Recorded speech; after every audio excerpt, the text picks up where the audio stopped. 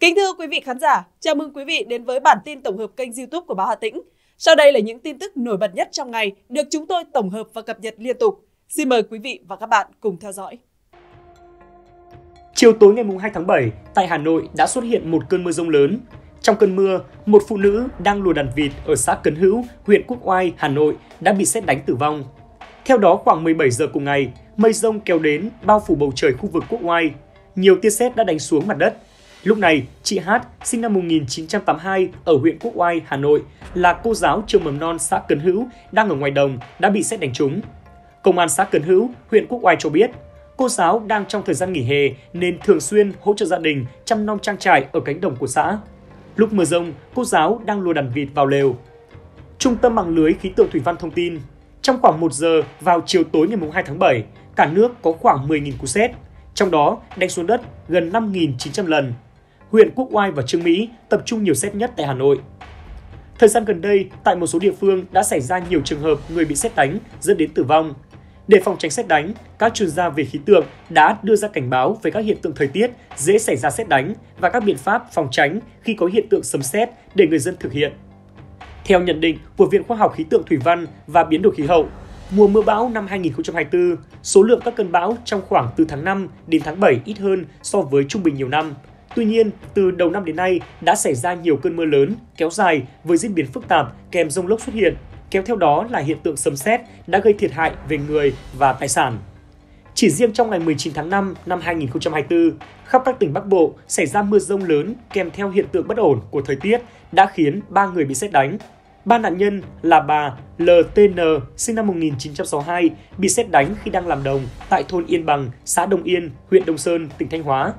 Chị BTP sinh năm 2000 bị xét đánh khi tham gia giao thông trên tuyến đường nối thành phố Thanh Hóa đi Nghi Sơn, xã Đông Tiến, huyện Triệu Sơn, tỉnh Thanh Hóa. Anh NVT, sinh năm 1985, trú tại xóm Bồi, xã Giao Phong, khi đang di chuyển qua khu vực xã Giao Hải, huyện Giao Thủy, tỉnh Nam Định thì bị xét đánh. Cả ba trường hợp này đều không qua khỏi. Thống kê của Viện Vật lý Địa cầu cho thấy, mỗi năm ở nước ta có thể có 2 triệu cú sét đánh xuống đất. Một số địa phương sét thường xuất hiện nhiều là Hà Nội, Hải Dương, Quảng Nam và các tỉnh đồng bằng sông Cửu Long. Theo cơ quan khí tượng thủy văn, Bộ Tài nguyên và Môi trường, Rông là một hiện tượng khí tượng bao gồm sự phóng điện trong cùng một đám mây giữa các đám mây hoặc giữa các đám mây với mặt đất, tạo ra hiện tượng chớp và sấm. Trường hợp phóng điện xảy ra giữa các đám mây và mặt đất gọi là sét. Sét có thể phát ra tia lửa điện và dòng điện đủ mạnh khiến người bị trúng sét không qua khỏi hoặc cháy nhà cửa.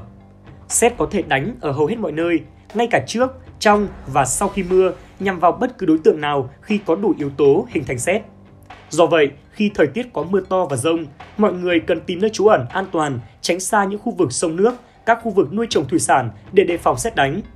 Theo thông tin từ Ban chỉ đạo phòng chống bão lụt tỉnh Quảng Ninh, khoảng 5 giờ ngày 6 tháng 5 năm 2024, tại thị xã Quảng Yên xảy ra mưa rông kèm theo sấm sét.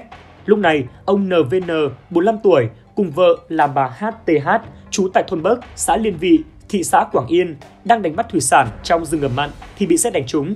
Sau vụ việc, ông N qua đời, còn bà H bị thương. Theo dự báo, trong năm 2024 sẽ có khoảng từ 11 đến 13 cơn bão trên Biển Đông, trong đó có từ 5 đến 7 cơn bão có thể ảnh hưởng đến đất liền.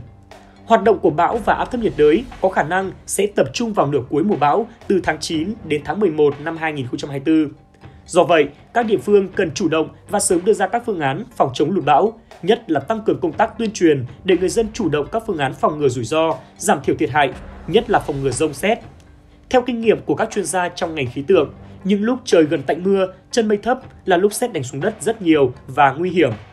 Người dân có thể nhận biết dấu hiệu sắp có rông xét như trời có mây đen, gió lạnh sau đợt nắng nóng gay gắt, thời điểm các khối khí nóng và lạnh giao tranh. Khi thấy dấu hiệu có rông xét, người dân nên nhanh chóng về nhà. Khu vực an toàn để tránh xét là bên trong tòa nhà hoặc công sở có lắp đặt hệ thống chống xét. Trong trường hợp người dân đang ở ngoài gặp xét mà không thể về được nơi an toàn thì thực hiện theo quy tắc tránh đứng cạnh cây cao, tránh đứng thành nhóm người gần nhau, tránh những vùng đất cao, trống trải và không được xuống nước. Khi gặp rông xét, người dân không trú mưa trong tròi, không khuôn vác vật dụng bằng kim loại như cuốc, xẻng, không trú mưa dưới các cột thu lôi, anten, cột điện, cột cờ, không đứng gần hoặc chạm vào vật dẫn điện như ống nước, ống khói, hàng rào dây kẽm, không nghe điện thoại, kể cả điện thoại di động, không nằm trên nền nhà. Bên cạnh đó, người dân cũng cần quan tâm theo dõi các bản tin dự báo thời tiết, quan sát khi thấy rông, xét thì hạn chế di chuyển ra đường. Khi ở trong nhà nên đứng xa cửa sổ, cửa ra vào, các đồ dùng điện, tránh các chỗ ẩm ướt như buồng tắm, bể nước, vòi nước. Nên rút phích cắm các thiết bị điện, anten TV trước lúc mưa rông sắp xảy ra.